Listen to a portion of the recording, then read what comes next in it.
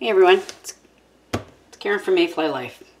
Today I'm going to be doing um, something that I've been wanting to do for quite a while now. And it's basically um, uh, a homemade cracker that uh, like Scott's been experiencing some uh, some stomach issues so I figured you know like he's been going through our crackers like there's no tomorrow I thought this would be something really good uh, to help with settling his tummy uh, when he has uh, some tummy issues.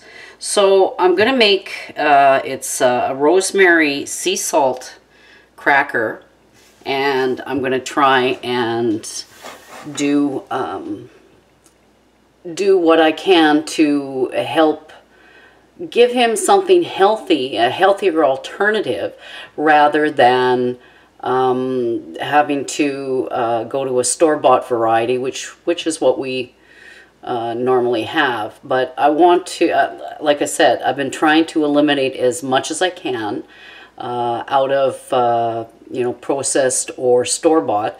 So I thought this would be a good time to to try out this recipe. So uh, come along with me, and I'll show you how it's made. Okay, what we're going to start with I'm going to do is, uh, it calls for a cup and a half of white, just all-purpose flour. I'm going to get three of these.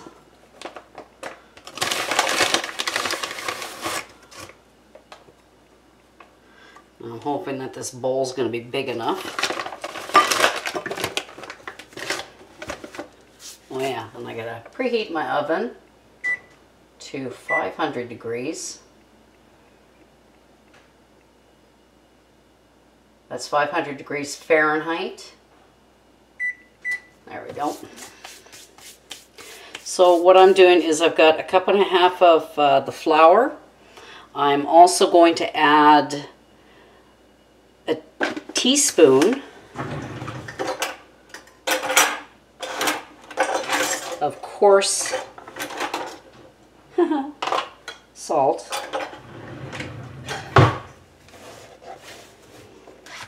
And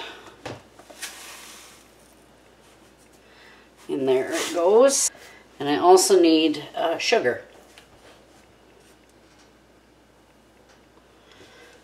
Okay. I also need uh, about uh, a tablespoon, and I freshly ground this, of rosemary. Sprinkle that in.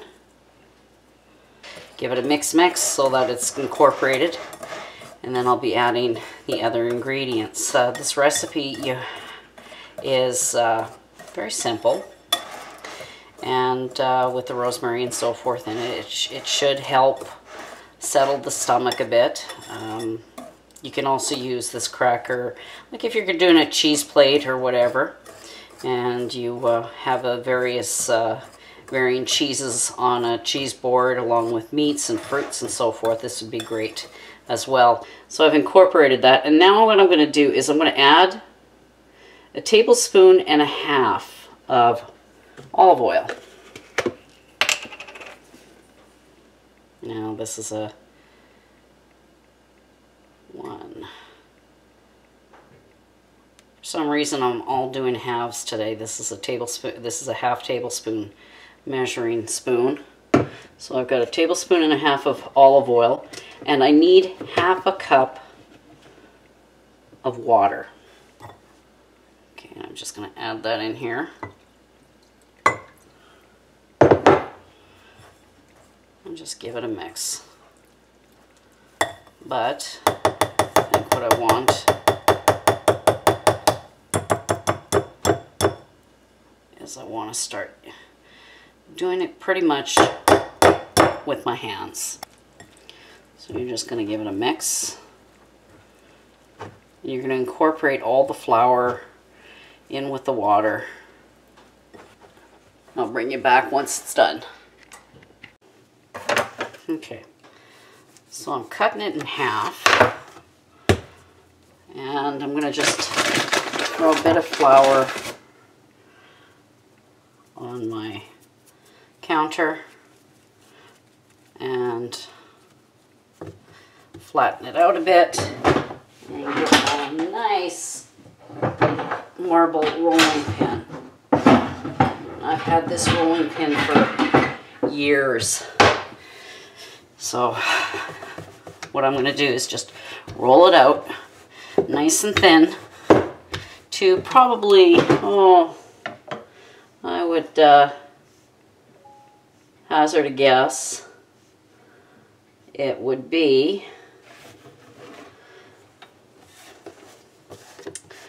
about an eighth of an inch thick. Oh, it smells good. All I can smell is that rosemary. That smells great. Now my oven is still heating up and it has to be 500 because what you want to do is you want to crisp crisp these up really good. So, you know, like I say, you roll this up and what you're going to do is you want to make it as even as possible. And if you have to, you know, throw a little bit of flour on top to prevent uh, your pin from getting, you know, getting stuck with uh, dough, then do that. And just keep rolling. I decided to do this, uh, like cut it in half because it's more manageable that way.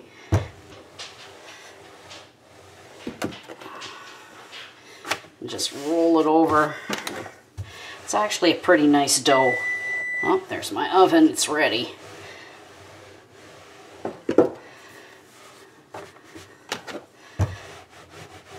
And then you can either use a knife or your um, or you can use a, a pizza roller and uh, then you're going to cut these into nice squares.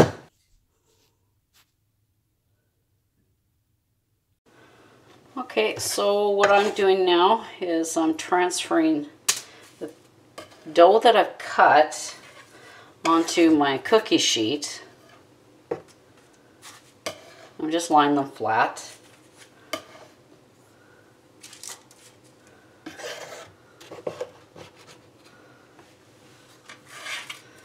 Just transfer them over.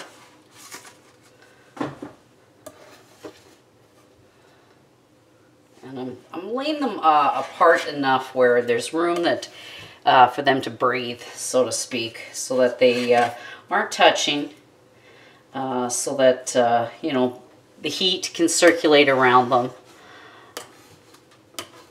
And I'm just using my knife to put them on slide them over. Okay, so now what I'm going to do is I'm going to add a little bit of water to them on top because uh, I'm going to be sprinkling sea salt on them or a kosher salt. It doesn't matter. You can use either or. You can use a sea salt or kosher salt. And you want it coarse. Okay, so what I'm going to do is I'm just going to sprinkle on top uh, some kosher salt. It's a little heavy duty. And I'm just going to sprinkle it on top of each cracker. So that just gets a little coating of salt. You don't want lots. Just give it a nice little coating so that the water will help the uh, salt stick. So like I said, you just, you don't want to go overwhelmingly so with sea salt or, or uh, kosher salt or whatever, but uh, you want enough that it's going to taste, you can, you're going to be able to taste it. And that's, like I said, that's what the uh, water's for. Okay, so after that, I'm going to take a fork, going to poke holes in them because what you're trying to do is uh, to prevent them uh, from puffing.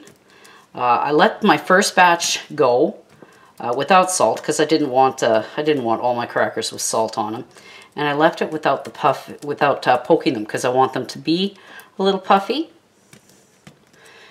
But this batch here, I want to be more like a soda cracker. So it's like I said, I'm taking my fork and I'm poking a few holes in each individual cracker.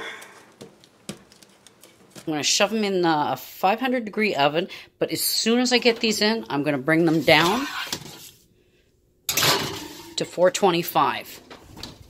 Why this recipe calls that for that, I have no idea, but that's what it says. There. And I'm going to set my timer for 12 minutes.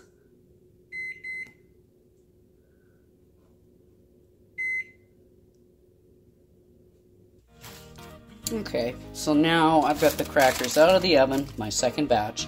This is the one with the, uh, the sea salt, uh, or the kosher salt. And what I'm going to do is I'm going to let them cool. And my last batch is cooled down, and I put them in this mason jar, which is great uh, for storage.